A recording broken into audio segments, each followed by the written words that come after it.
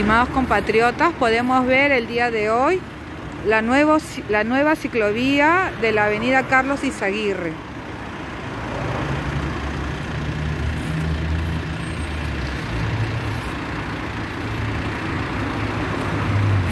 Dividieron la pista en dos y han reservado espacio muy útil para los jóvenes deportistas y para que la población pueda realizar sus ejercicios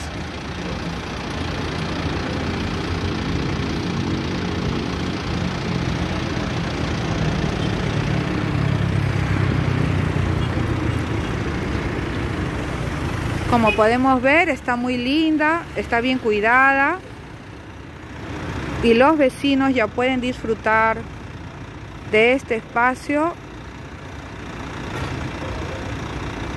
muy necesario y útil. La avenida Carlos Izaguirre ya tiene su nueva ciclovía.